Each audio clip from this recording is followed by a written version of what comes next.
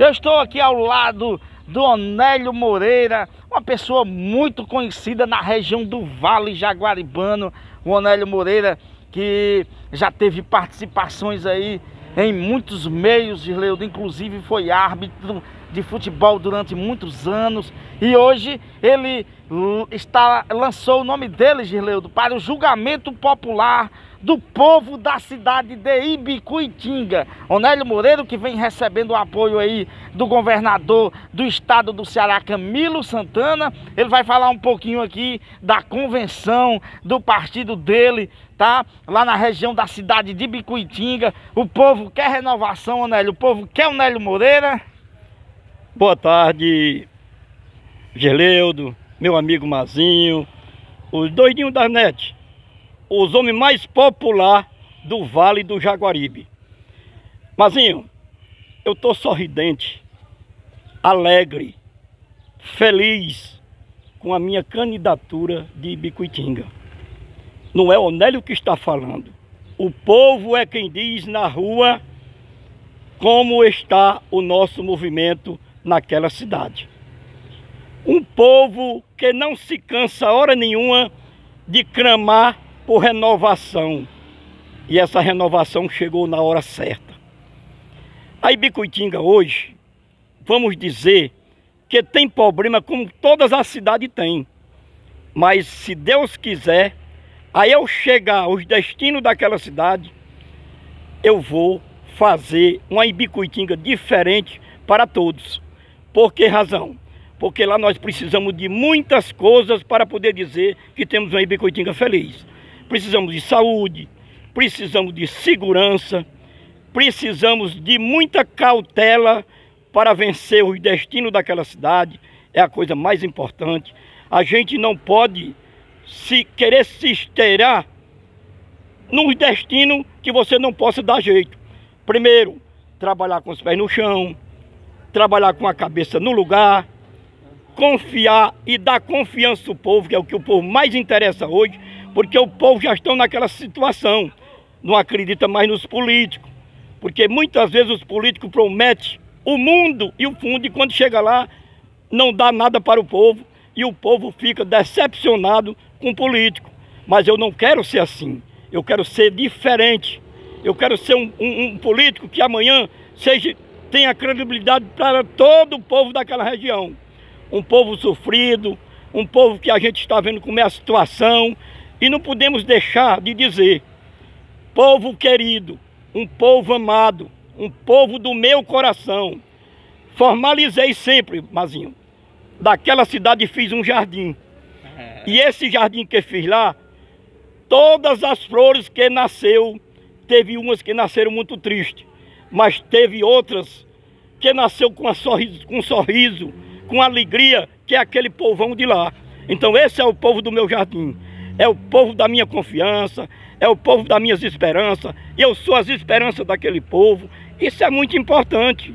Então, aqui, Mazinho, também, nessas palavras lindas como futuro e pré-candidato daquela cidade, sem ter, sem ter medo de errar, queria também parabenizar Mazé pela coragem, pela força, pela dedicação que ela está tendo ali em Moeiro. Isso é muito importante, certo? Então, Mazé, é o que eu vou, eu vou desejar a você boa sorte, como vou desejar para mim também em Bicuitinga. Porque a mudança sempre o povo pede. E chega sempre na hora certa, como estou chegando e você chegando aqui também. Eu acho o seguinte, o povo escolhe e a gente trabalha pelo povo. Faz a realidade que o povo quer. Meus amigos de Bicuitinga, eu acho que chegou a hora da verdade. Chegou a hora de vocês sentar e pensar mais um pouco na cidade e dizer, estamos juntos e misturados para fazer uma Ibicuitinga com toda a felicidade, fazer muito progresso naquela cidade, fazer muito, muito coisas que vocês mais esperam. Isso é que é muito importante, mas queria dizer mais. Vocês, eu quero que vocês confiem em mim, mas quero também que vocês confiem em vocês mesmos. Se vocês acharem que eu mereça a confiança de vocês para representar vocês na, na Ibicuitinga, estarei junto com vocês. Estou aqui.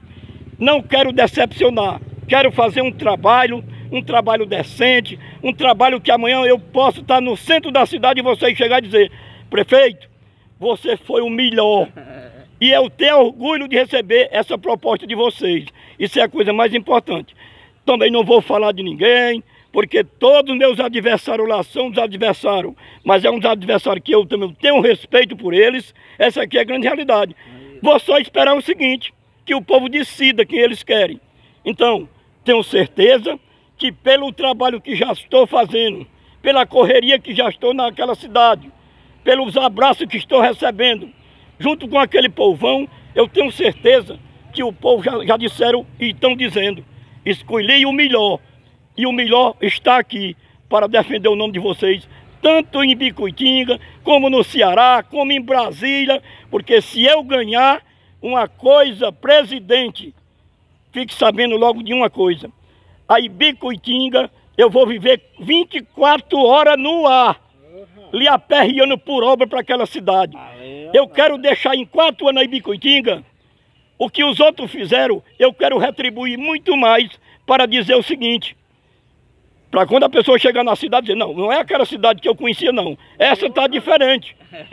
Não sou melhor do que ninguém, mas tenho certeza da minha responsabilidade como político e o que vou fazer nessa cidade. Tratar vocês do jeito que vocês merecem, porque vocês são um povo amado, um povo querido, um povo que tem estabilidade e conhece todos os problemas de Bicuitinga.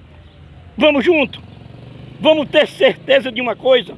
Esta casa precisa se fazer uma limpeza, mas que seja uma limpeza que venha, uma limpeza decente, que vocês possam dizer que prefeito sentou na cadeira nossa, contribuiu com nós, está contribuindo, devolvendo o nosso dinheiro que pagamos o prefeito para sentar na cadeira, ele está, de, tá, tá, ele está devolvendo para nós com muita obra nessa cidade. Não importa o que falam do Onélio. O que me importa é que quantas mais, quantas mais pedras rebolar em mim, mais eu vou juntar para fazer uma grande cidade. Essa é que é a importância de Bicuitinga. E Bicuitinga nos espere. Faça o que eu tenho vontade de fazer por vocês. E, não, e queria dizer mais. Queria dizer mais. Daqui eu envio um abraço para todos. Mando um abraço para Boa Vista, Canidezinho, Furna, Barbadinha, Antônio Pereira, Antônio Pereira, Pedra Branca, Muquem, aquele povo amado. Chile, aonde eu tenho passado e tenho conversado muito. Queria dizer para vocês, meu povo, abra o coração como eu tenho o coração aberto para vocês tudo. Porque é aquela história. Amo vocês de coração. E tenho certeza que vocês... Aqui, como está terminando, queria deixar um abraço para meus grandes repórteres aqui e dizer para o povo de Bicuitinga, um beijo no coração de cada um de vocês e o um sorriso alegre da felicidade para nós todos. Obrigado. Ok, gente, conversamos aqui com Onélio Moreira, ele que é pré-candidato à Prefeitura Municipal da cidade de Bicuitinga, Pleito 2020. Segue os doidinhos da net, você aí da cidade de Bicuitinga, no Instagram, no Facebook, se inscreve no nosso canal do YouTube, fortalece essa luta. Os doidinhos da net hoje com Onélio Moreira, pré-candidato à Prefeitura Municipal de Bicuitinga. Aquele abraço, eleições municipais, política 2020.